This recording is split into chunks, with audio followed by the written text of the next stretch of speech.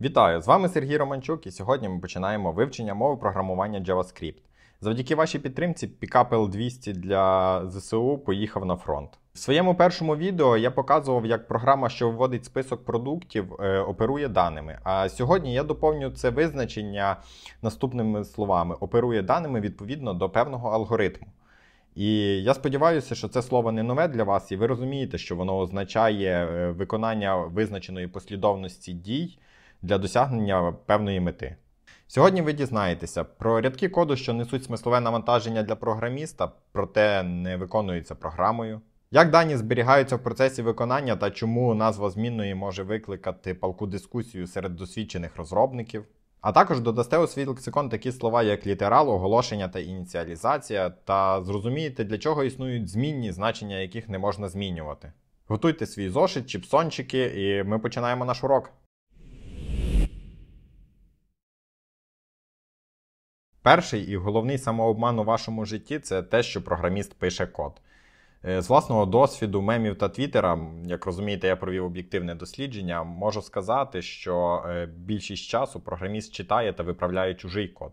А це означає, що головним критерієм його якості буде читабельність та зрозумілість. Якщо хтось скаже, що вирішив задачу складним професійним способом замість е, максимально простого та зрозумілого, я процитую йому класика. Вийди отсюда, розбійник ти. Ви скажете, чекай, але ж можна залишити коментарі, в яких пояснити, що ти мав на увазі. На що я скажу, що програміст, хороший програміст, настільки лінивий, що він одразу вибере типи даних та назви змінних, щоб не треба було нічого більше пояснювати. Не забувайте, що ми з вами злегка інтроверти, тому якщо хтось, хто буде читати ваш код, не зрозуміє, це що доведеться з живою людиною спілкуватися? Куди воно треба?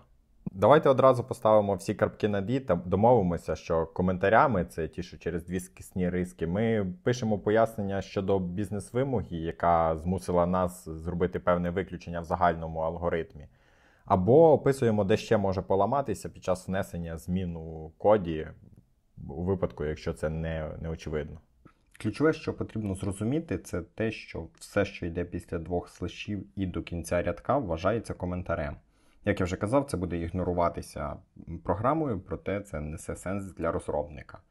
Е, також я змушений показати вам багаторядковий коментар, і в ньому є дві керуючі структури: це слеш зірочка, що сигналізує про початок багаторядкового коментаря, та зірочка слеш про кінець.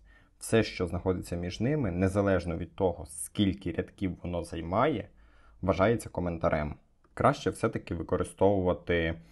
Е, багато однорядкових коментарів, як мінімум через те, що ми можемо використовувати гарячі клавіші, щоб швидко коментувати або розкоментовувати щось.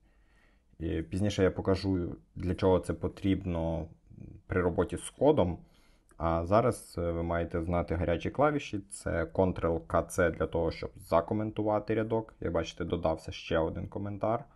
І Ctrl-K-U для того, щоб зняти коментар. Тобто, якщо ми двічі натиснемо його зараз, то ми розкоментуємо, проте, так як це JavaScript, він не знає української, маємо ось таку допомогу. Далі вам не потрібно розбиратися в коді, передруковувати чи пробувати запускати його. Це всього-навсього приклад, щоб було краще видно, які коментарі хороші, а яких краще не залишати.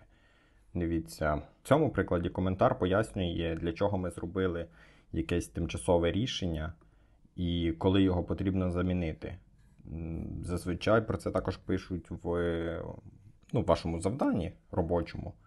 Проте ось наш коментар, що це є тимчасовий фікс для такого-то багу, і потрібно прибрати. І зазвичай залишається також посилання на пов'язану задачу. Її може робити, наприклад, інший розробник, і тоді потрібно вказати йому в задачі, що ось це потрібно буде прибрати після того, як це буде виправлено. Також, як ви бачите, ви можете закоментувати код на деякий час. Але пам'ятайте, що залишати його надовго це дуже погана звичка, яка реально бруднить ваш код у проєкті. Це зручно для того, щоб перевіряти якісь альтернативні рішення. Ви придумали код, зробили, все працює прекрасно але потім ви хочете протестувати якесь значно елегантніше рішення. Ви можете закоментувати код, який вже працює, перевірити своє рішення, зважити всі за і проти та вирішити, з яким кодом вам рухатися далі. Інший же шматок видалити. Не залишайте закоментованого кода у вашому проєкті. Це дуже його бруднить. Ось цей коментар, наприклад, пояснює нам, яка бізнес-вимога змусила написати специфічну обробку.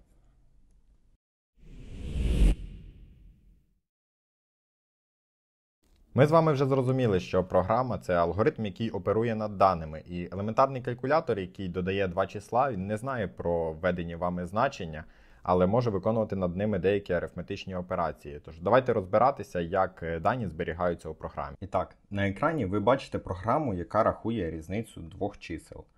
Ви просто зараз можете відкрити браузер, натиснути F12 і перейти на вкладку Консоль. І ось тут десь стрілочка, почати вводити код. Ви вводите два числа, знаходите їх різницю, натискаєте Enter і отримуєте результат віднімання. Так ось, знайомтеся, 240 і 85. Це значення, якими оперувала програма, коли виконувала операцію віднімання. І ось ці значення, які явно написані в коді, називаються літерал. А оскільки код виконував деяку операцію, в нашому випадку це було віднімання, то 240 і 85 будуть операндами цієї операції. Я дуже хочу вірити, що ви реально знаєте, що пам'ять калькулятора не забито всі можливі результати обрахунків, а значить, нам час знайомитися із поняттям змінна. Так ось, давайте уявимо, що наша задача тепер не знайти банальну різницю двох чисел а порахувати вашу частку в статутному капіталі якогось успішного стартапу. І ви вклали в цю справу 1000 доларів, а 6 ваших колег по 755 доларів. Загальна формула буде ось такою. Наша частка розділяємо на загальний капітал. 6 вкладів колег плюс ваша частка. Правильно отримуємо значення приблизно 18%. Код свою задачу вирішує. Проте згадуємо про колегу, якому треба буде пояснювати, що це все за магічні числа, і починаємо думати, як зробити так, щоб не довелося з ним спілкуватися. Перше, розбираємо наш алгоритм на складові. Е, що таке ваша частка в статутному капіталі? Це ваш вклад розділений на загальний капітал, як ми вже говорили. А загальний капітал це сума вашого вкладу та вкладу решти учасників. Як бачите, ваш вклад повторюється декілька разів у коді. Знайомтеся, змінна LED Owner Deposit дорівнює 1000. Це змінна оголошена через ключове слово LED, яку ми назвали Owner Deposit та проініціалізували значенням 1000. А це Total Capital проініціалізована ось таким значенням. Змінна, що оголошена ключовим словом LED. І, якщо вірити назві, означає суму загального капіталу, яку проініціалізували, результатом обрахунків, в яких одним із операндів виступає значення змінної Owner Deposit. Так, А ми згадуємо, бачимо, що тут лежить 1000 у нас, та добутком 6 на 755. Так, а що ж таке Capital Part? Це також змінна, що оголошена через ключове слово LED називається Capital Part, і який присвоєно результат операції ділення, значення, яке лежить в змінній Owner Deposit, це у нас 1000, на значення змінної Total Capital на результат ось цих обрахунків. Було б непогано, якби ви допомогли мені уникнути питань про те, що таке 6755 у коментарях. Як ви вже побачили, на реальному прикладі більшість змінних використовується для того, щоб зберігати та мати доступ до результатів обрахунків. І нам дуже не хотілося б, щоб випадковий джуніор перед розрахунком частки капіталу написав е, ось такий код Owner Deposit дорівнює 100. Замінив значення у змінній Owner Deposit з 1000 на 100. І цим самим суттєво зменшив наші статки тут, щоб змінити значення в уже створеній, вже оголошеній змінній, ми більше не пишемо ключового слова LED. Ми працюємо з змінною по імені. Тому що ім'я змінної це її унікальний ідентифікатор. Ми за іменем отримуємо значення зі змінної і встановлюємо значення у змінній. Тож, для того, щоб уникнути подібних ексцесів, варто оголошувати змінні через використання замість let ключового слова const. Хтось вгадає, з якого воно похідне. З використанням ключового слова const замість let наш код виглядатиме ось так. Визначаємо, скільки осіб скидається, яку частку вони скидають, наш депозит, загальний капітал. Так, уже все рахується, вже все проіменоване. Всі числа перестали бути магічними і мають назви. І розрахунок частки. Тож, якщо тепер хтось захоче написати owner депозит дорівнює 100, та запустимо ми цей код, отримаємо помилку. Перед обрахунком частки JavaScript почне лаятися і не дозволить нам перевстановити значення цій змінній. Е, Як бачимо, помилка assignment to constant variable, що означає спроба проініціалізувати або змінити значення е, константній змінній. Коротко підсумуємо. Щоб оголосити змінну, ми пишемо ключове слово let або const, потім назву змінної, після чого використовуємо оператор присвоювання, одне дорівнює, і ініціалізуємо нашу змінну початковим значенням. Щоб замінити значення в уже існуючій змінній, ми використовуємо тільки назву змінної. Та завдяки оператору присвоювання встановлюємо змінній нове значення. Ось ця операція доступна тільки для змінної, оголошеної через ключове слово let. Змінним, що оголошені через const, міняти значення не можна. Цим зрозуміло. А тепер я відкриваю питання на співбесіду для Junior JavaScript розробників, і в кожному списку буде питання: а чим же відрізняється var, let і const? І якщо з let і const е, ясно, що зміні оголошеній через const не можна переприсвоїти значення, то що таке var і до чого це питання взагалі? І як каже молодь, це база. Не буду це записувати. Крінж. Надіюсь, ти цього не вставиш. Дозвольте представити вам фігурні дужки. І в мові програмування це синтаксична структура, що визначає область видимості ідентифікаторів. І тримаємо в голові, що ми досі не навчилися всіх способів е, оголошення змінних. Давайте подивимося на цей приклад коду. В ньому з'являються фігурні дужки як синтаксична структура, що визначає просто блок коду. І зараз для вас це лише шматки деякого коду, що логічно погруповані та вкладені один в одний. Дивимося на оголошені змінні. Ми з вами говоримо про рівні вкладеності змінних у блоки. Саме тому я дав їм такі назви, щоб е, одразу було очевидно, в якому рівні вкладена змінна оголошена. Це ідеально підходить до моєї задачі, але не називайте подібним чином змінні в своєму коді. І поїхали розбиратись. Базовий рівень, він у нас взагалі без фігурних дужок. І на цьому рівні в нас оголошено змінну top-level, і одразу за нею вкладено блок коду. Весь код, що взятий у фігурні дужки. І ще одна змінна після цього коду. Нам вона поки що не цікава. Тепер йдемо у цей вкладений блок коду. Тут оголошено змінну second level. І одразу за нею змінну second level updated, яка використовує для ініціалізації значення змінної second level, попередньо створеної. Так, Оскільки вони в одному блоці коду, то все без проблем працює. Ця змінна видна тут. Далі ми вкладаємо ще один блок коду, ось цей, взятий у фігурні дужки. Після чого оголошуємо ще декілька змінних, які нам поки що теж не цікаві. Переходимо до третього рівня. Оголошуємо змінну, що дозволить розуміти, що вона саме з третього рівня. І ще одну, яка демонструє, що в цьому блоці ми вже можемо користуватися змінною, яка оголошена тут, third level, та змінною, яка оголошена на другому рівні. І навіть на першому.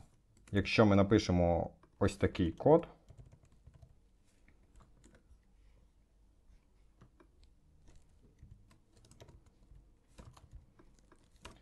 все також прекрасно працюватиме. Тепер повертаємося на рівень 2. І якщо ми спробуємо використати змінну з третього рівня, то ви отримаєте помилку під час виконання. Як бачите, Surf level is not defined.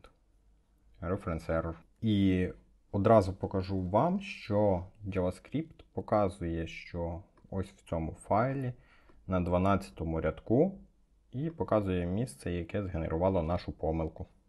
Закоментуємо цей код.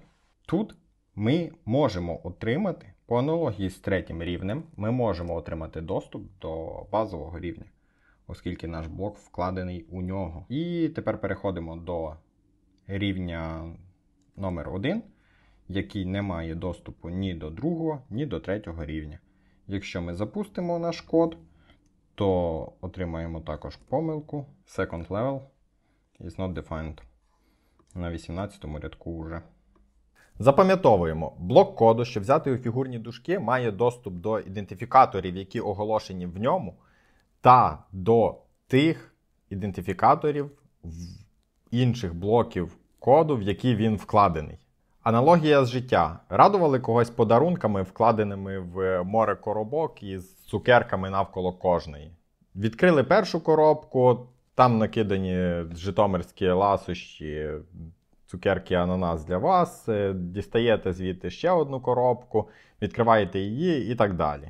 Відкрили першу коробку, фігурні дужки. Там лежать цукерки ананас від житомирських ласощів.